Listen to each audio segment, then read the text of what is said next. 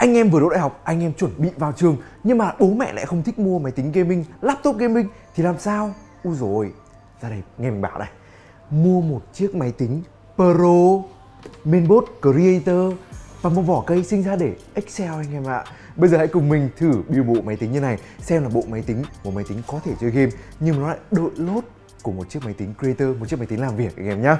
Hãy cùng bắt đầu thôi rồi, hãy bắt đầu đi. Thì để mình giới thiệu một chút chút qua về những cái gì mình lựa chọn đấy nhá.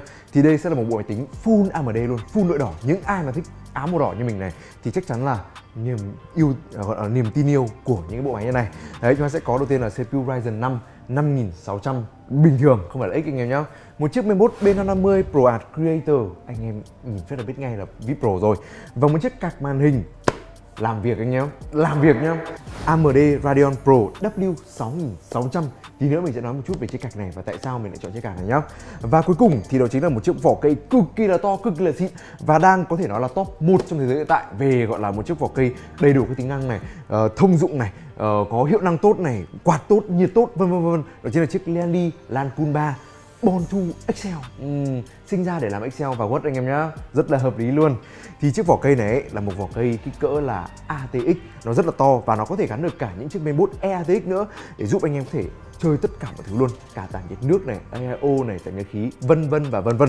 Nhưng mà tí nữa mình sẽ mở ra và cùng xem nó như thế nào nhá. Thì đầu tiên là chiếc mainboard đi. Ờ, tại sao chiếc mainboard này gọi là chiếc mainboard Pro Art có thứ gì nó Pro Art đến thế trên chiếc mainboard này nhỉ? Thứ nhất nhá đằng sau, rất nhiều cổng USB rất nhiều cổng LAN. Có một thiết kế cực kỳ là đẹp đẽ, rất nhiều cổng SSD và cổng PCIe đồng thời 4 GB RAM và chỗ này thì VRM đầy đủ cấp cho cả cái CPU Ryzen 9 5900 năm mấy anh em ạ. Thoải mái luôn.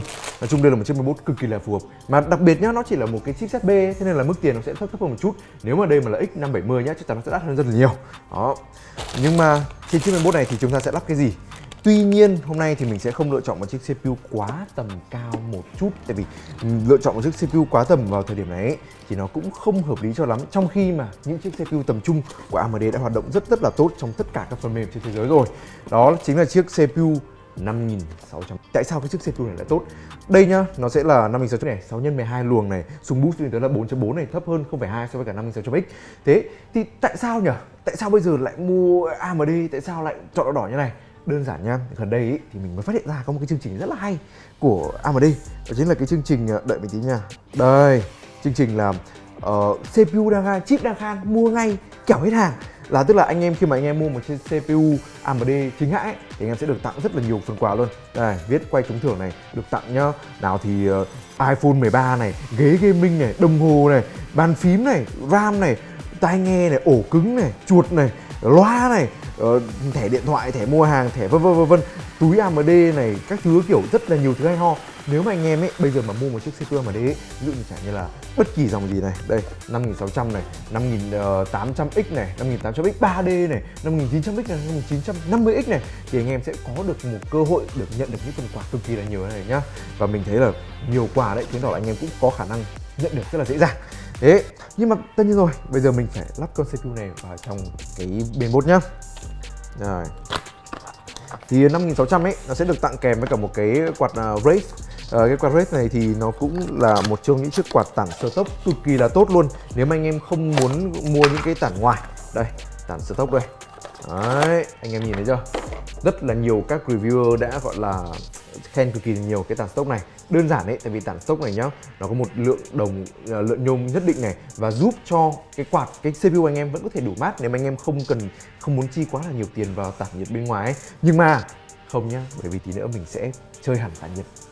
AO360 luôn là chiếc uh, Galahad AO 360 RGB phiên bản màu trắng để phù hợp với cả chiếc ờ, vỏ cây lenny này nhá. Nhưng mà bây giờ thì mình sẽ cất tạm này đi lắp CPU vào và chuẩn bị lắp làm nhá. Đây chiếc CPU 5600 của chúng ta đây. Đấy, đẹp chưa, đẹp chưa? Đấy. Thì hiện tại nhá là CPU của Ryzen thì vẫn đang là một CPU nó có cái chân. Ừ, có cái chân ở dưới này, này. Nhưng mà sang đời 7000 và sắp tới đây là đời 7000 nhá thì sẽ là đổi hết sang loại là uh, có cái pad ở đây hết chứ nó không còn là uh, phiên bản bình thường này nữa. Đây là PGA còn cái kia là đổi sang LGA để cho cái việc lắp đặt có thể dễ dàng hơn thích thú hơn. Nhưng mà ấy, cái mình vẫn khá là thích cái kiểu chân như này. Tại vì khi mà anh em làm cong cong một tí thôi nhá thì anh em vẫn có thể bật ngược lại thoải mái không vấn đề gì cả. Nhưng mà khi mà anh em ấy mà chỉ cần làm gãy một cái chân ở bên trong hơi cong một chút chân ở bên trong bên ấy là coi như là anh em có thể nói là bye bye cái bên này rồi. Chứ tại vì thực sự rất là khó gắn chân ở trên bên vì nó bé lắm và nó mỏng lắm nữa ấy. trên này thì cái chân nó cứng cáp hơn một chút.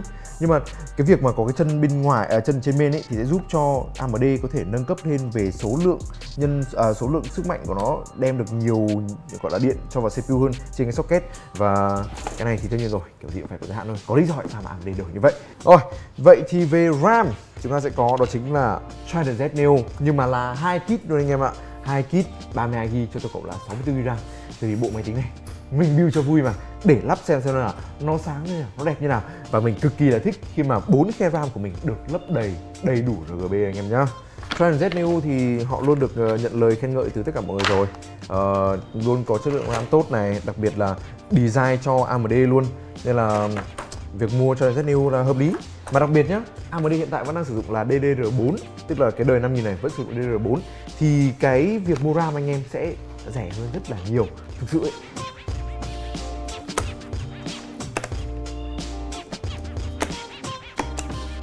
Rồi, đấy, nó nói có sai đâu. Nhìn RAM này, đẹp chưa? Đẹp thật đấy và cuối cùng thì đó chính là ổ cứng. Tất nhiên rồi bất kỳ chiếc máy tính nào cũng đều phải có ổ cứng. Thì trên uh, Ryzen ấy họ đã đều hỗ trợ đó chính là PCI 4.0 hết rồi. Và sang đời à, uh, 5000 này thì hỗ trợ 4.0 hết rồi. Thì sang đời 7000 này thì chắc chắn là sẽ có PCI 5.0 cái thứ kiểu thoải mái luôn. Nhưng mà cái lúc đấy mình cũng chưa chắc rằng là những con SSD NVMe 5.0 nó đã ra đời đâu. Nên là đảm bảo rằng anh em bây giờ mua 4.0 vẫn thoải mái anh em ạ.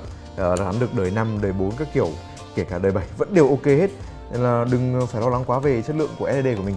Với cả ấy, bản thân mình cảm thấy là PCIe NVMe 3.0 với 4.0 ấy nó không đem lại được cái cái, cái, sự khác biệt quá là nhiều đâu. Đặc biệt là nếu mà khi mà anh em đang ờ, sử dụng ở bình thường ấy là một người dùng bình thường ấy mình chỉ nhận thấy khác biệt khi mà ví dụ chẳng hạn là mình nén này hay mình chuyển file gì đấy giữa các ổ với nhau thôi. Còn chứ nếu mà mình kiểu chỉ sử dụng bình thường này lốt game lốt windows ấy thì delay sự cách biệt nhau cực kỳ là ít luôn. Thế nên là bây giờ kể cả bây giờ bạn anh em cố gắng đừng dùng SATA, ok? Nếu mà mua SSD M2 đừng dùng SATA. Hãy nâng cấp cho mình lên NVMe nhá. Ok, thế là xong rồi nhá. Gắn xong đầy đủ đẹp đẽ rồi nhá. Bây giờ thì hãy ăn bốc vỏ cây nhá. Nó lại còn nặng nữa. Ok, đây là vỏ cây Lianli Lancun. Mình để ngang này để mình còn ăn bốc nữa thì trong vỏ cây nhá, anh em mở ra phát là sẽ thấy một cái hộp phụ kiện. Thì trong hộp phụ kiện này chúng ta sẽ có cái gì?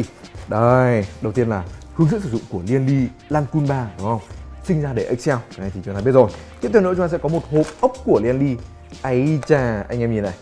Đây nhá, thực sự nhá, một người hay build máy tính mình rất là thích những cái hộp như này luôn. Tại vì nó chia, phân chia ra từng ốc từng ốc một. Mà nhá Lenly nhá, họ còn cho thêm những cái này đây là những cái này đấy, để có thể ngăn ra ngăn ra ngăn ra ngăn ra. Thêm nữa, nếu mà anh em thích tái sử dụng cái hộp ốc này. Hộp ốc tuyệt vời đấy, mình thực sự thích đấy Đấy. và tiếp theo nữa chúng ta sẽ còn có đó chính là hai cái hai cái gì đấy anh em biết không?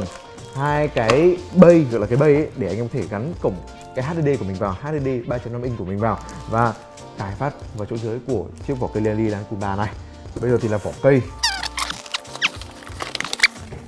ừ. à cái đỡ rồi ừ. Đây.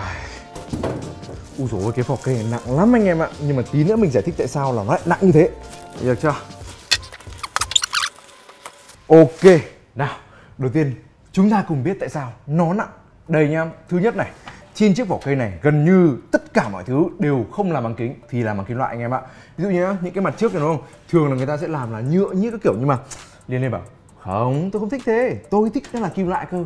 Đấy rất là xịn sò nhá có mỗi cái chân này là bằng nhựa thôi. Đấy mình cảm thấy có mỗi cái chân là bằng nhựa thôi. À và mấy cái quạt nằm trong này là nhựa nữa. Tại vì nhá trong chiếc vỏ cây Lianli Lancun 3 phiên bản RGB Airflow Mesh này thì nha sẽ được tặng là tổng cộng 3 quạt RGB và một quạt bình thường anh em ạ. Và tất cả đều là quạt. Theo như mình nhớ hình như là đều là quạt 140 thì phải anh em ạ. Ý chà chà đâu xem nào? Ồ, hình như đúng 40 đấy. Mặt sau của cái này cũng là kính anh em ạ. Đây, anh em thấy chưa? Mặt kính của nó nhìn trông rất là đẹp và vô cùng xịn sò đúng không? Anh em đẩy ra phát là kính nó sẽ mở ra như cánh cửa đón anh em vào thế giới thần tiên vậy. Xịn nhá. À, ờ, mình nâng cái kính này. Bên trong chúng ta sẽ có gì?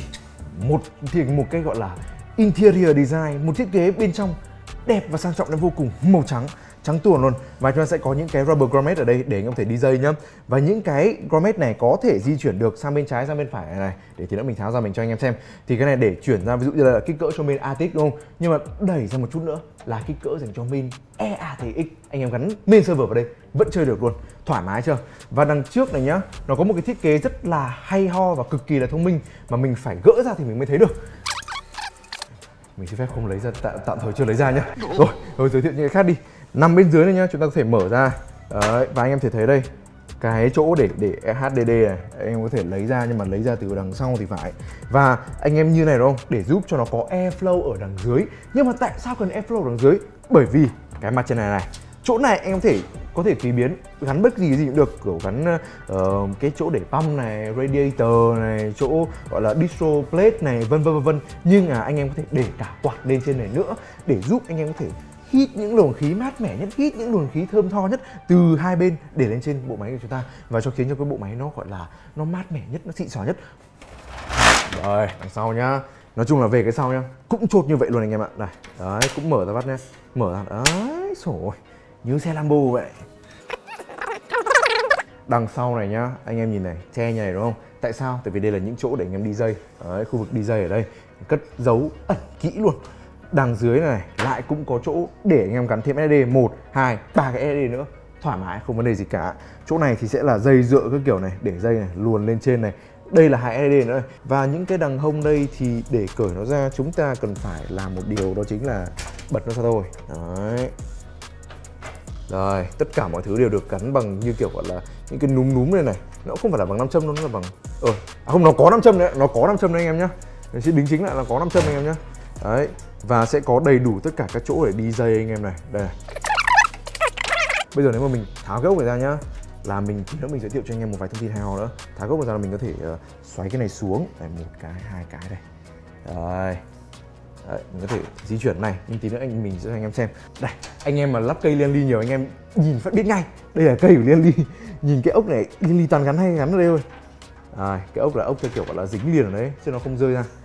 Bật lên phát này ôi nhở trượt đấy các bạn. Ôi rồi quê quá. Rồi, đằng trên này đúng không? Đây là anh em nhìn số lượng này, anh em đố anh em biết là gắn được rát đến bao nhiêu. Tiết lộ nhá 420 em có thể gắn một cái rát siêu dài đây luôn. Và nhá, nó còn có một cái lỗ để anh em gắn cái gì anh biết không? Đây là chỗ để anh em bơm nước và châm nước vào trong này. Mà không cần phải đụng vào bất kỳ chỗ gì bên trong này cả. Đấy. Đấy, trước nhá. Đây. Sau khi mà anh em gắn gắn cái ốc này nhá, thì anh em thể uh, di chuyển rất là dễ dàng. Tại sao? Để em có thể kích cỡ dành cho RTX và anh em chỗ này cũng gắn được cái gì đây? Gắn được uh, những cái bơm này những cái chỗ anh em nhìn phát biết ngay. Đây là những cái chỗ bắt bơm này. Anh có thể bắt vào đây. Anh Tuấn Anh mà lắp cái này anh anh anh Tuấn Anh chắc là nó vui mừng lắm đấy hạnh phúc lắm đấy. thì có một đặc điểm nữa mà mình muốn giới thiệu cho anh em. Mà cái vỏ cây này ấy, nhiều người người ta lắp người ta không biết đâu. Đây là này. Ôi trời ơi. Ôi trời ơi đây rồi cái tấm đằng trước được ra rồi. À, chúng ta chỉ cần dùng rất nhiều lực thôi. Cái này nó sẽ có một cái ốc hai cái ốc. Dính dây quá. Đây nó sẽ là như thế này nếu mà nó không có dây. Được chưa? Mình sẽ cầm cái này mình sẽ vứt đi khắp mọi nơi các kiểu nếu mà mình thích. Đấy tại vì cái này nó sẽ rất là dễ dàng để anh em có thể làm gì. Gắn tản nhiệt chứ cần làm gì chứ anh em tháo này ra phát anh em gắn vào anh em cài phát đây này. Đấy gắn ra ngoài không? Cài phát lại. Thế là xong. Nice. Đấy nếu mà anh em không thích đúng không? Đây là đây là slot 1 đây đây là slot 1 ok chưa? Slot 1 đúng không? Anh em không thích em có thể đẩy vào slot 2 để cho cái quạt này có thể đẩy sát hơn và giúp cho cái bộ máy chúng ta có thể nhận được quạt, gọi là gần với quạt hơn, giúp cho nó mát hơn rất là nhiều. Đi dây hết rồi đẹp lắm rồi, mình không muốn tháo ra. Thôi, mình để ngăn một vậy. Còn thì nữa mình sẽ gắn AO 360 nằm ở bên trên này. Bên trên là hỗ trợ tận 420 cho nên mình không phải lo lắng gì hết.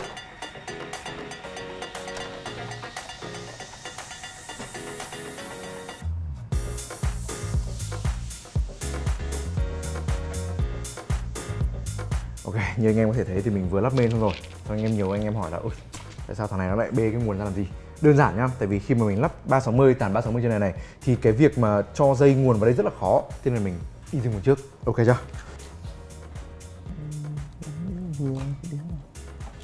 Đây là tản nhiệt nước. Đây, anh em thấy đây. Galat AO 360 thì đây là một trong những chiếc tản có thể gọi là một trong những chiếc tản đẹp nhất bây giờ. Không phải chỉ về cái khối tản, gọi là khối bơm đâu, mà nó là còn về quạt đấy anh em ạ. Thì vì đây là cái phiên bản Unifan nhá, Unifan. Chúng mình sẽ vẫn còn nữa nhá, đó chính là một kit fan. Đây Lianli SL Infinity 120 để mình có thể gắn vào bên dưới bên này. Ba quạt sẽ nằm dưới và thổi lên. Tại vì nhá, cái quạt Lianli này nhá, nó cực kỳ là đẹp luôn, nó cực kỳ, vô cùng cực kỳ là đẹp luôn. Vì bất kỳ mặt nào của nó cũng đều sáng đẹp dạng người hết. Đây đây là mặt trước đây là mặt sau nên là gắn bất kỳ chiều nào thì nó đều sáng và đều đẹp. Trong cái tản nhiệt EO này của Lely nhá chúng ta sẽ nhận được này. Đây cũng là phiên bản màu trắng đẹp dạng người luôn nhá. Đây đây cũng là phiên bản màu trắng này. Chúng ta sẽ nhận được ba quạt Lely Unifan. Ừ, rất đẹp dạng người này. Một cái tản nhiệt nước. Đây một khối này gồm uh, à, bơm bùng cái kiểu này cũng màu trắng. Đâu, nó chính xác hơn là nó là màu bạc anh ạ nó là màu bạc. Nó không phải màu trắng nó là màu bạc. Một cái hub GGB và rất nhiều các linh kiện phụ kiện để anh em có thể gắn vào. Tất cả những chiếc nốt của Horizon đặc biệt là cái dòng từ 5.000 trở xuống này thì họ đều có backplate hết và những cái chân ốc của nhá thì thường nó sẽ là tiêu chuẩn luôn tức là mình không cần phải gắn ngàm hay gắn ngủng gì cả. Mình cứ gắn thế này. Vào thôi còn chứ không phải là như hãng khác anh em ạ. Ui, nó còn sử dụng luôn cả nguyên cả cái cái cái cài này luôn này. Tức là mình không cần phải tháo gì ra hết. Mình cứ dùng nguyên cái bên này và mình cài được. Họ còn tặng thêm đó chính là một cái ờ, chặn nữa cơ. Đây một cái chặn này, để anh em, nếu mà anh em thích em có thể chặn chữ ly đi, cho nó mất đi, cho nó nâu nêm đi.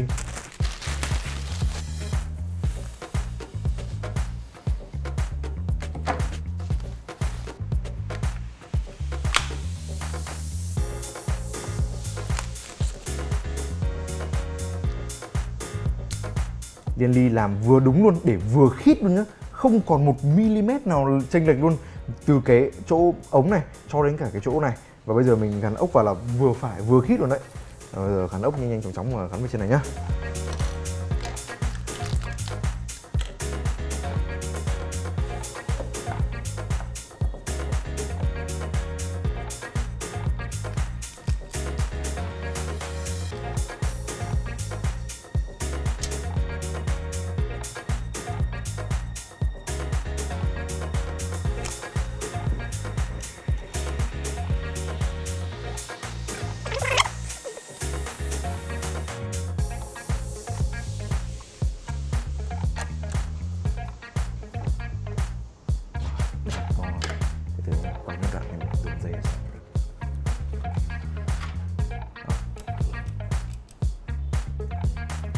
Bây giờ thì mình xin phép là gắn nốt thêm ba cái quạt liên ly ở đây nhá. Thực sự là mình rất là muốn sở hữu một cái kit fan như này Đơn giản là tại vì là nó đẹp quá Nó quá đẹp luôn.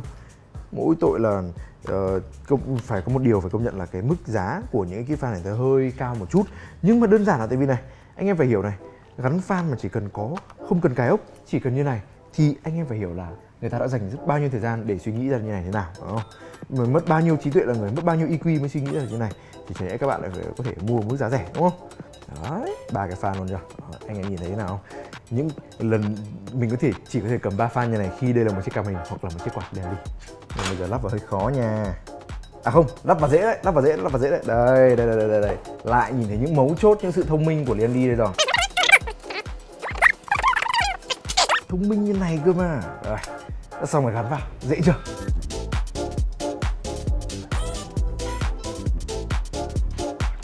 Ây à, anh em ơi, mình đang có vấn đề hơi quan ngại một chút. Thì chúng ta sẽ có, đây là quạt Lianli Infinity nhá. Trên này là cái quạt thường, Unifan thường nhá. Và chúng ta sẽ có hai hub, một cái là của Unifan và một cái là Infinity. Thế nên là bây giờ mình sẽ hơi mệt mỏi một chút, tức là mình sẽ phải gắn hai cái hub vào. Nhưng mà cũng khá khá là may mắn Bởi vì ấy, tại vì này, anh em anh em mình quay quay cây rồi này. Đây. Lianli họ để sẵn nguyên một cái chỗ này luôn để cho anh em có thể gắn được. Dây của hai hấp đã được gắn rồi cái hai hấp này công nhận là cái hấp này thì nó cái quạt thì nó đẹp thật đấy nhưng mà tội là cái hấp nó hơi hơi có một chút phiền phức một chút. Tại vì nhá cái hấp trên này thì ok một dây SATA nhưng mà hấp dưới này tại vì là có điện một này điện hai này nên là nó phải tận hai dây SATA cơ. Thì cái việc có cái hấp đấy thì nó cũng rất là tốt thôi tại vì mình có thể chỉnh tinh chỉnh nhá tinh chỉnh từng thứ một thông qua cái phần mềm của Lianli nhưng mà um, tất nhiên rồi chúng ta vẫn phải mất công để lắp đúng không? Bây giờ thì mình xin phép đó chính là uh, gắn nốt mấy cái dây đằng này và mình gắn thêm cái nguồn vào nhá. Trong lúc mà mình lắp cái dây đằng front panel ấy thì anh em biết rồi là lắp vỏ cây. Rất là nhiều người ghét những cái dây front panel. Nhưng mà nhá liền đi nhá cho nguyên một cụm luôn nha anh em ơi. Anh em nhìn này đấy power switch này đấy khiến cho cái quá trình lắp đặt máy tính nó dễ hơn rất là nhiều. Xong nguồn cũng rất là dễ để gắn luôn này. Hai cái ốc hai cái ốc tuy là ốc ốc thăm screw nhưng mà vẫn gắn rất là chặt. Đấy, hai cái ốc này xoáy ra phát. Và nó còn có cái khứa này nhá để xác định được đây là chiều đúng và đây là chiều sai nhá. Tại vì có nhiều anh em sợ lắp ngược như này nhưng mà điên đi để đúng một cái lỗ lỗ nhỏ nhỏ này để giúp anh em đảm bảo rằng là tôi đang lắp đúng chiều. Đấy, anh em thể thấy đây mình đang dùng nguồn là nguồn 750 nhưng với cái bộ máy này ấy, thì anh em có thể dùng nguồn cực kỳ là thấp cũng được. Tại vì AMD ấy, hiện tại nhá đối với dòng mới của họ nhá đặc biệt đặc biệt là tiết kiệm điện luôn cực kỳ tiết kiệm điện luôn. Cái bộ máy này ấy, tính ra tổng cộng tốn ra đâu khoảng tầm có 200 200 rưỡi watt gần 300 watt thôi. Cho nên là anh em có thể thoải mái mà sử dụng mua nguồn ok được. Ừ, cố gắng mua những cái hãng nguồn mà có chất lượng tốt một chút nhá.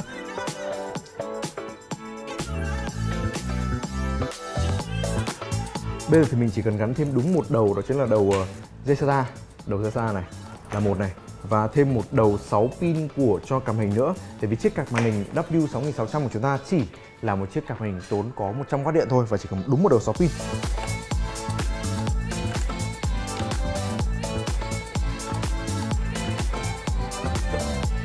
Thì mình vừa mới tháo ra được một cái uh, bay này ra rồi để mình có thể gọi là di chuyển gỡ cái cái thiểu cắn gây vào. Và mình nhận ra nhá là cái bay này cái cái cái cái cục ờ, uh, HDD này thì rất là dễ tháo. Nhưng mà ấy nó còn có thể di chuyển được cơ nếu mà anh em thích. Ờ đây em nhìn thấy không?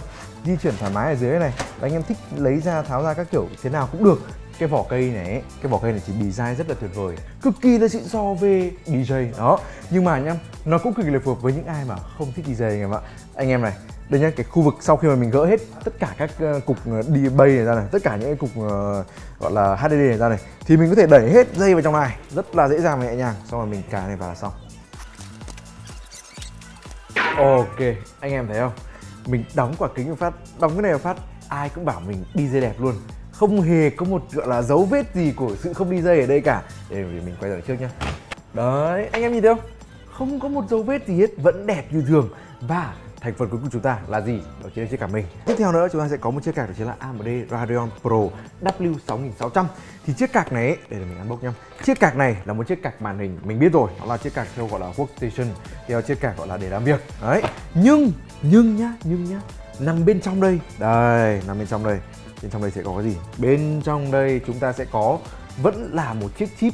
Đó chính là chiếc chip Navi 23 anh em ạ. Cái chiếc chip Navi 23 này là cái chiếc chip mà anh em sẽ nhìn thấy ở trong chiếc của chính là chiếc 6600 XT và chiếc đấy thì chơi game rất là ổn áp luôn, hiệu năng cũng rất là cao. Và mỗi tội nhá chiếc card này thì nó sẽ bị giảm một chút về streaming processor này, bị giảm một tí tí về RT core này, về các thứ kiểu ờ, processing core các thứ các thứ, giảm một tí thôi nhưng mà nó lại được nhận một cái đó chính là cái sự support driver cực kỳ là mạnh mẽ từ AMD thì đây là những cái sản phẩm mang tính gọi là workstation những sản phẩm mà yêu cầu uh, những cái người dùng nó yêu cầu lại sự ổn định nhất sự chắc chắn nhất sự đảm bảo nhất khi mà dùng cái này. Và AMD sẽ cung cấp điều đó cho anh em với dòng Radeon Pro của họ. Và đây là chiếc W6600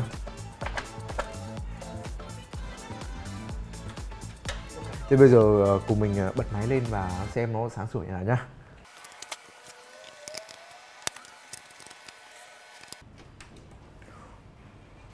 Oh.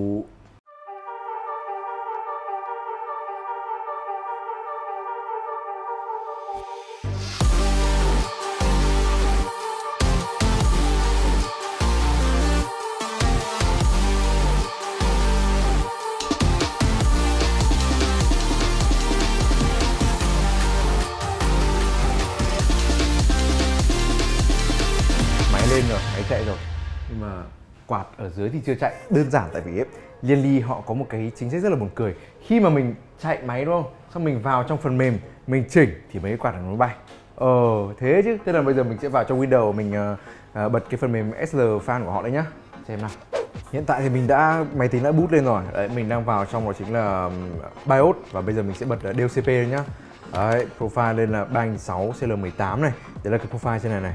Và với cái tản AO với cả những cái gì airflow của Liên Ly á, cái CPU chúng ta đang có 28 độ C thôi anh em ạ. Rồi bây giờ mình vào trong uh, Windows nhá. Save exit này. Ok. Mình vào trong Windows một chút xong để mình tải cái phần mềm ờ, của Liên Ly về và mình sẽ khiến cho cái quạt này chạy lên. Chứ không thì quỷ lắm. Anh em ơi, đây quạt đã chạy rồi nhá. Phần mềm L Connect đã lên rồi này. Anh em thấy chưa? Đây là SL Control L1 nhá tức là cái trên này này. Và một cái nữa là SL Infinity Control L1 là cái ở bên dưới này. Ờ, uh, CPU đấy đang 30 độ này chạy này và để hết ở chế độ quay hết tức là 800 RPM thôi. 800 RAM per minute. Thì mình có thể sinh RGB các thứ kiểu này. Nói chung đấy là cái sức mạnh của phần mềm của Lenly hiểu không? Anh em có thể này xem system info này tức là thông tin của máy tính này. CPU nó lốt bao nhiêu RAM lốt bao nhiêu cạc lốt bao nhiêu này. Uh, đây cạc 34 độ anh em ạ. Ngồi trong cái môi trường rồi cạc 34 độ. Xong rồi ừ, bộ nhớ anh em đang bao nhiêu phần trăm này. À, hoặc là xong rồi anh em có thể chỉnh uh, là fan này tốc độ của quạt này tốc độ của bơm này uh, sinh ánh sáng này tỉnh chỉnh tinh chỉnh từng thiết bị từng thiết bị một luôn. Và setting thì anh em có thể update cái firmware của từng cái quạt từng cái driver một từng cái hub một. Đấy thì để check driver này thì mình sẽ có ở đây đó chính là à, Radeon Software Pro Edition. À, để mình mở đây nhá. Đấy anh em vẫn thấy nó rất là quen thuộc đó vẫn giống rất là cái phần phần mềm Adrenaline của ờ, uh, AMD thì đây sẽ vẫn có này system này graphic này display này. Và chẳng hạn này AMD Pro Edition nó sẽ có là mình đang sử dụng là cái phiên bản driver của quý 2 năm 2022 nha anh em nhé đây mình xem này. Và lần lần update cuối của đó là từ 24 tháng 5 rồi Tức là cách đây khoảng tầm 3 tháng, 2 tháng rưỡi rồi. Thế thì chúng ta cùng xem xem là nó có gì hay ho đặc biệt Ví dụ như là với phiên bản này nhá. Đây, đợi tí là load lên đã. Đây, đấy. Download dễ dàng này, installing này Ok, highlight thì chúng ta có gì này? Hỗ trợ hip ở trong Redshift uh, à, với những cái card Radeon Pro. Thế nó sẽ cứ mỗi driver nó sẽ kiểu nó sẽ gọi là tăng tiến tăng tiến lên nó giúp cho anh em sửa cái này sửa kia. Uh, và ví dụ như là fixed issue như tức là cái vấn đề đã được chữa trong phần mềm driver trước đúng không? là không thể chạy được AMD Software Pro. Khi mà chạy một cái phần mềm khác ở full screen mode tức là chế độ toàn hình tại màn hình thứ hai. Và một cái nữa là blank viewport tức là cái mà cái viewport ở trên phần mềm AutoCAD ấy nó không nhìn thấy gì cả. Thì đấy driver của AMD đã chữa được cái đấy rồi. Cái card này nếu mà anh em để dành cho chơi game nhá thì nó vẫn sẽ vẫn có 8 GB RAM GDDR5 à GDDR6 như bình thường. Vẫn là số lượng à, vẫn là chip Navi 23 như thế nhưng mỗi tội là là nó là một slot và nó sẽ bị giảm một chút về uh, uh, giảm một chút về shading unit các thứ kiểu. Đây là mình cho anh em xem. Anh em nhìn này đây này cũng là cũng là Navi cũng là Navi 23 ok chưa? Nhưng mà con mỗi con lại khác khác một tí. Chẳng hạn như nhá bên 6000 uh, W6600 này thì sẽ có uh, clock cao hơn này. Đấy có sung cao hơn rất là nhiều luôn nhá. 2300 trong khi con này có 1900 này. Nhưng mà sung của ừ, chip nhớ thì nó lại giảm đi chỉ có 1700 trong khi bên này có 2000 uh, bộ nhớ thì cũng như thế. RAM uh, gọi là GDDR vẫn thế vẫn GDDR 6 mỗi tội bên này thì bandwidth nó thấp hơn tí tại vì là bên này clock cũng thấp hơn mà. Nói chung là bên này thì memory nó thấp hơn tẹo tẹo thôi. Shading unit cũng thấp hơn tẹo này. TP uh, ờ, TMU cũng thấp hơn này. Uh, compute unit RT core cũng thấp hơn tí tí tí thôi. Nhưng mà hiệu năng chơi game thì nó lại vẫn bằng, nó lại cũng khoảng tầm có trích khoảng tầm hai phần trăm thôi. Đấy, nó khoảng tầm hai phần trăm thôi. Tức là với chiếc cạch này nhá, nó sẽ đảm bảo cho anh em có một trải nghiệm sử dụng máy tính cực kỳ là cực kỳ là ổn định luôn cái tuyệt vời hơn cả ấy, là chiếc vỏ cây này anh em thấy không? Mình thực sự mình khen nó từ nãy tới giờ luôn tại vì vỏ cây này thực sự rất là tuyệt vời. Nếu mà anh em hứng thú với cái sản phẩm này thì mình sẽ để đường link dưới tả anh em nhé còn nếu mà anh em cảm thấy video này hay và hữu ích thì nhớ đâu anh em kiểu thích mình làm những gì đó lạ lạ kỳ kỳ tí với những cái thành phần máy tính này thì anh em hãy để ở dưới comment nhé, để gọi là những gợi ý tại vì mình có rất là nhiều ý tưởng hay. Rồi nói chung là hy vọng rằng anh em xem video này thấy vui vẻ và hẹn gặp anh em tại một video tiếp theo nha.